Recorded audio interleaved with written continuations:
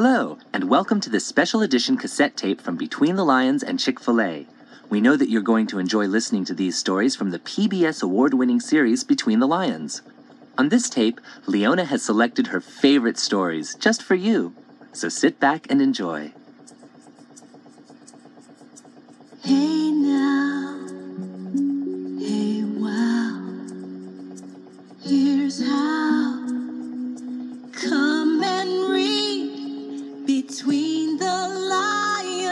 lions.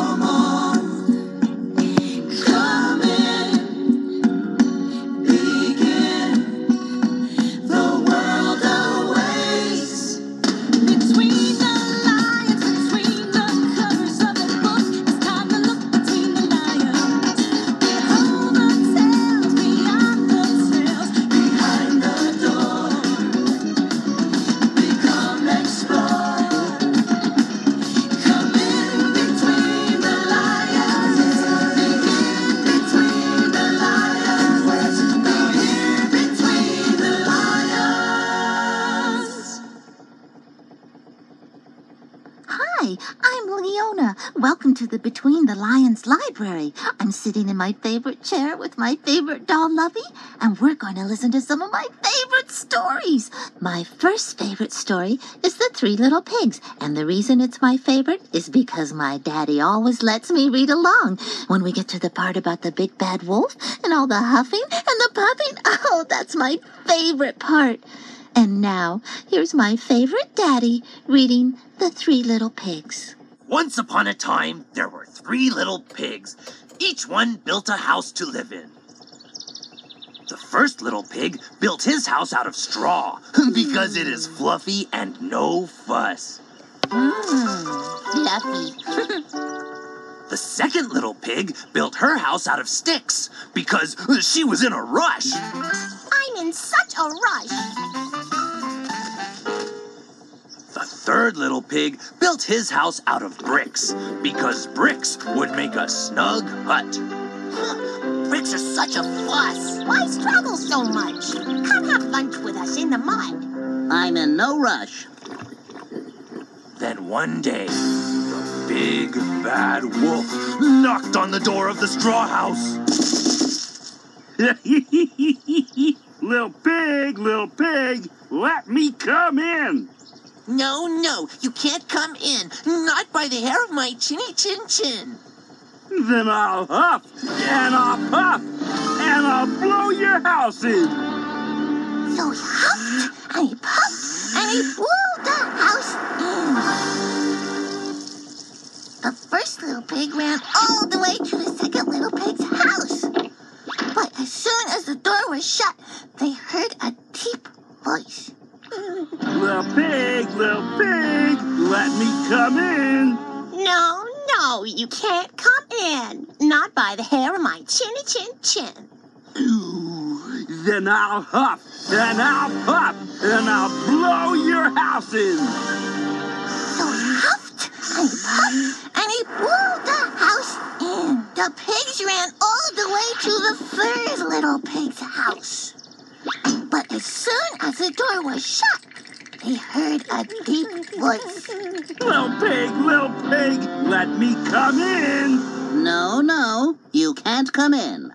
Not by the hair of my chinny chin chin.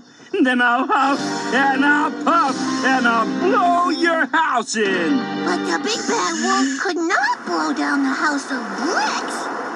He grew very angry. I'm gonna come through your chimney and eat you.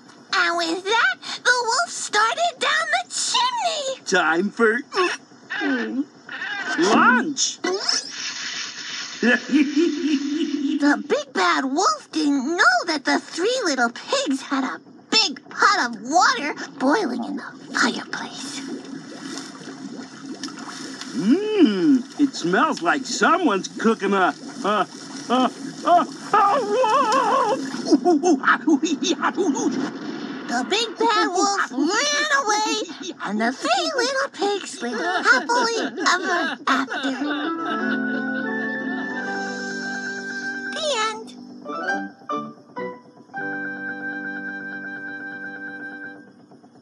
The next story is one of my favorites because it's about one of my favorite things to eat popcorn. And my favorite brother is reading it. The Popcorn Popper by Pops Papadopoulos, a popular though non-existent author.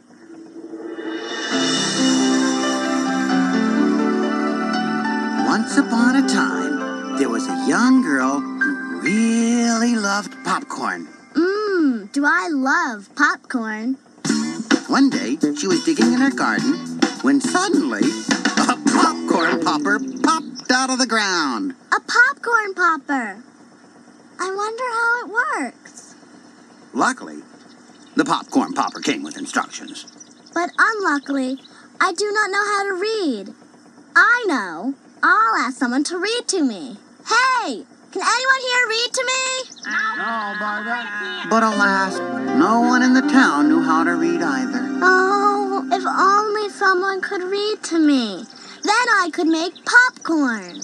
Suddenly, a woman popped up from behind a poplar tree. Are you my fairy godmother? Even better, dear. I'm your designated reader. I read to people who don't have anyone to read to them. I'm very popular. Cool. Can you read these instructions? Positively. Instructions. To start the popcorn popper, say, Popcorn popper, pop, pop, pop. Popcorn popper, do not stop. Suddenly, the popcorn popper started popping. Mmm, yummy. Well, that'll be all, designated reader. All right.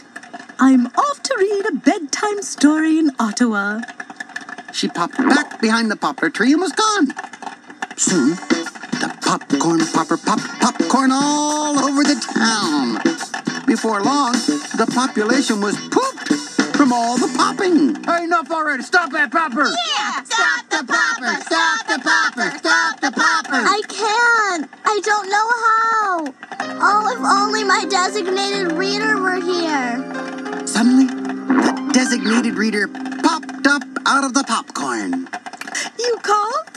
Oh, designated reader, could you please stop the popcorn popper? Hey, I'm a reader, not a magician.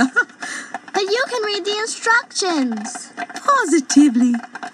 To stop the popcorn popper, say poppity boppity, pop pop pop, hoppity poppity, hop hop hop, dop and a loppity, lop and a doppity, pop and a boppity, stop pop stop. Instantly, the popper stopped popping. The townspeople put all the popcorn in little bags and went to the movies. After that, the designated reader taught everyone in the town how to read. they read Mary Poppins. Please turn the tape over to listen to more stories from Between the Lions. The next story is one of my very favorite fables. And it's read by my very favorite daddy. The Fox and the Crow by Aesop.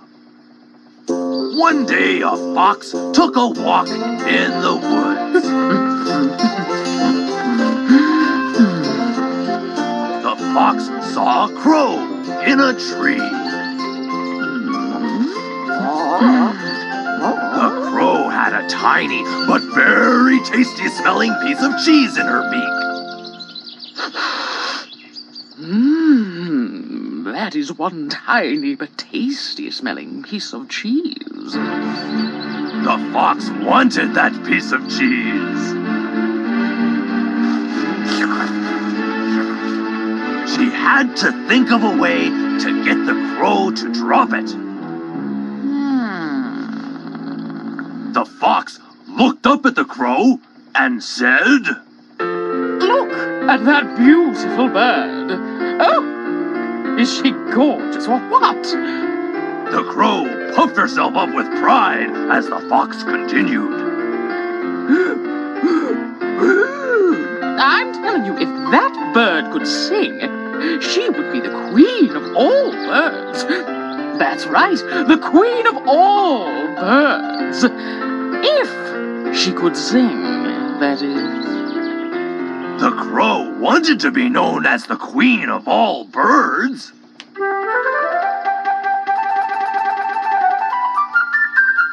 And so she opened her beak and let out a. Unfortunately, she also let out the tiny piece of cheese. The poor crow watched the tiny piece of cheese drop, drop, drop, and drop. It did not stop until it popped in the fox's mouth with a tiny kerplop. The fox swallowed and said, ah, That was deliciously cheesy and surprisingly easy. and she ran off into the woods with a skip and a hop.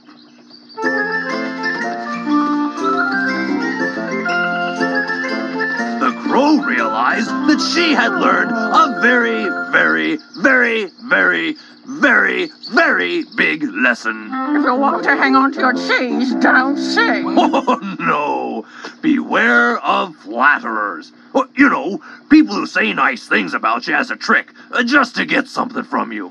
Oh, yeah, that too. The end. The next story is one of my favorites. It's called The Lion and the Mouse by Aesop. Once upon a time, a little brown mouse walked up a big brown hill. Let's see. I have to get some Swiss cheese, American cheese, provolone, and a big wheel of Gouda.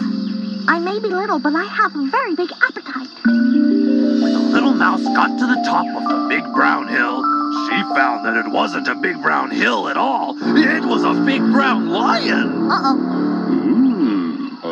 A little brown snack. The big lion grabbed the little mouse.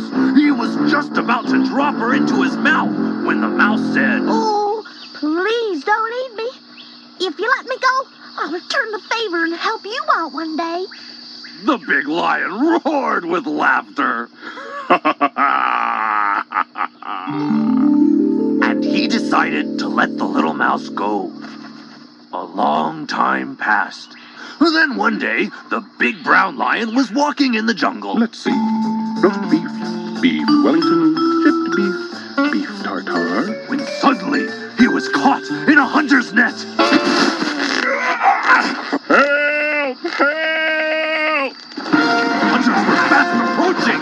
Help!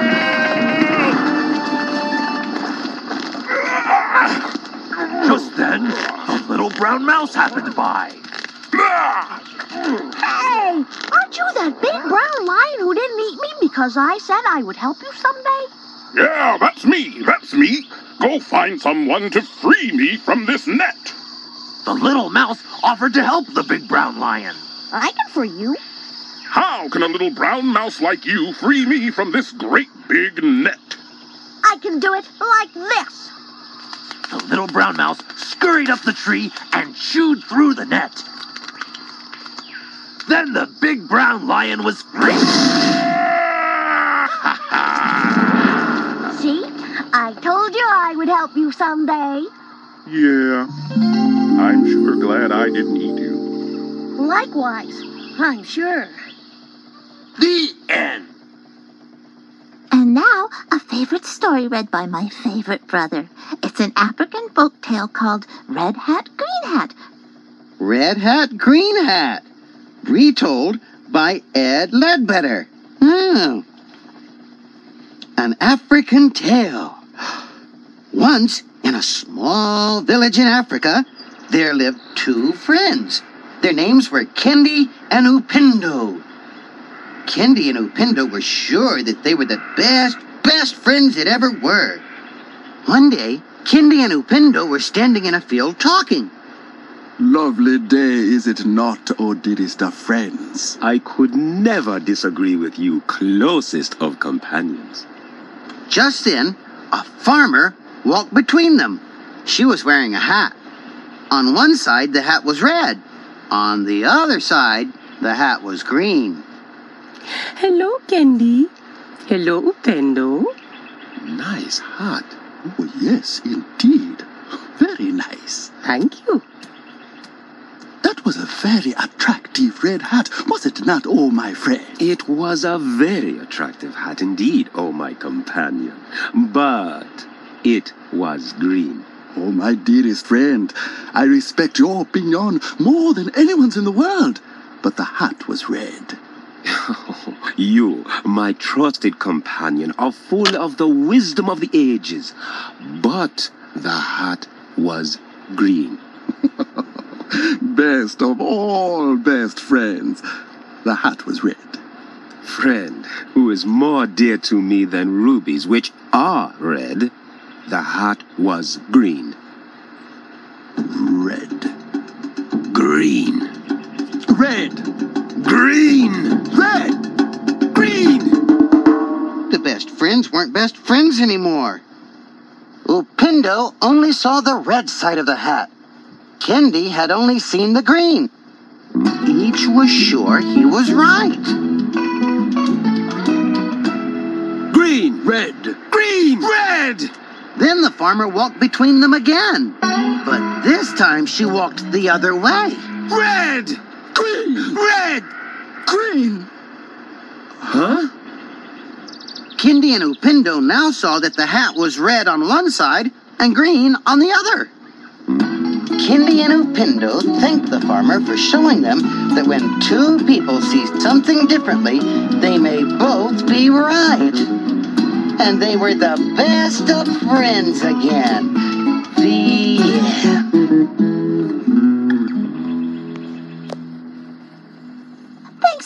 Visiting the Between the Lions Library. If you like the stories you heard and would like to hear more wonderful stories, ask your mom, your dad, your grandma, your grandpa, your auntie, your uncle, or any good reader you know to be your designated reader and read to you every day.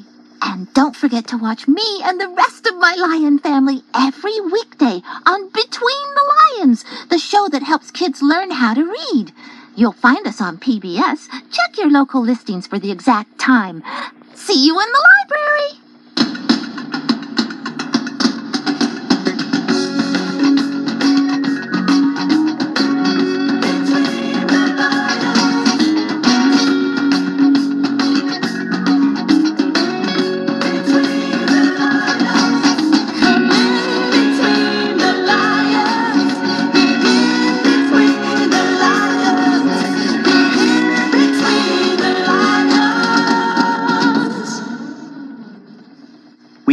Enjoyed listening to this collection of special Between the Lions stories. And don't forget to collect all four Between the Lions cassettes at Chick fil A.